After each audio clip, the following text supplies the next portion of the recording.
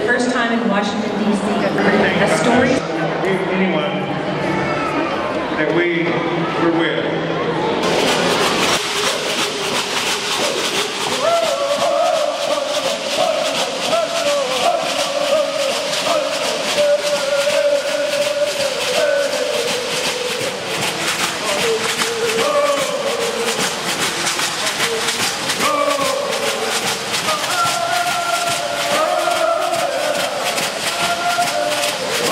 Many Native American tribes rely on the beat of the drum for their dances and culture, but the Muskogee Creek rely on the percussion provided by the females who wear these turtle shells.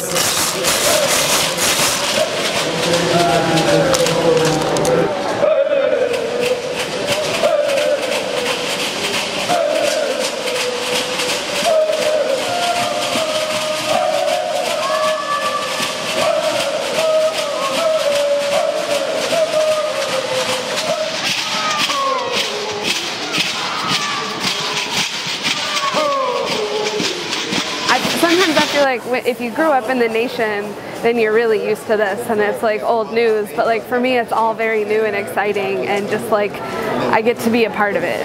It's exciting.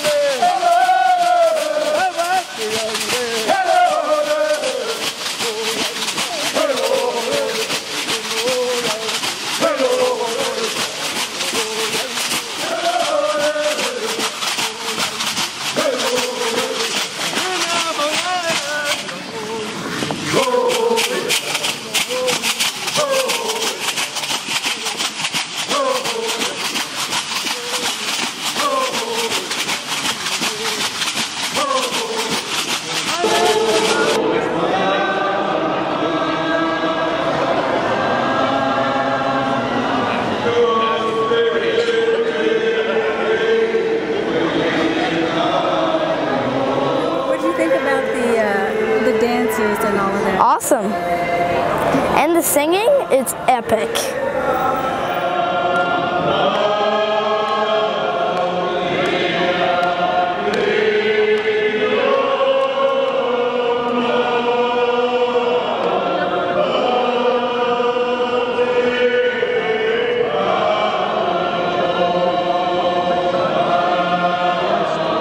In the name of Jesus, Father, that the light that shines from us, Father, We'll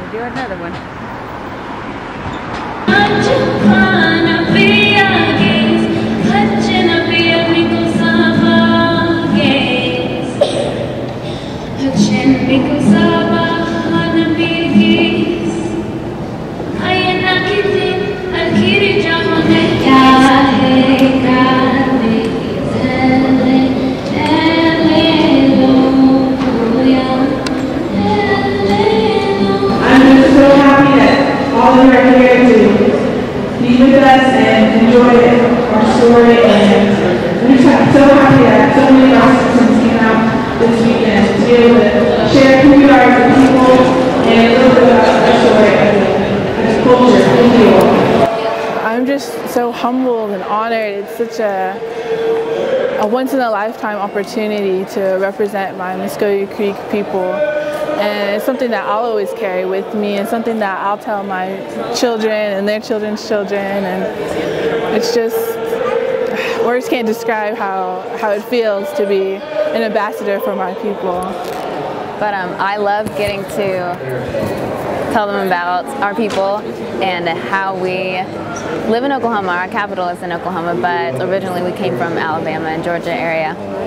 And just getting to tell them all about you know where we came from, how we're still here, how we're strong, we're surviving. So I really liked getting to inform people.